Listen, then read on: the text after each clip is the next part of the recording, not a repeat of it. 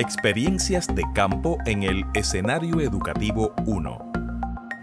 En este curso, el estudiante integrará los aspectos del escenario educativo, sus procesos administrativos y pedagógicos desde la perspectiva de un futuro líder en un centro educativo autorizado.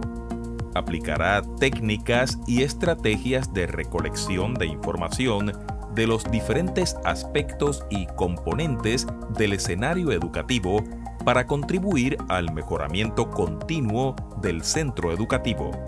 Además, reflexionará sobre su práctica profesional en el contexto escolar para su formación como futuro líder educativo.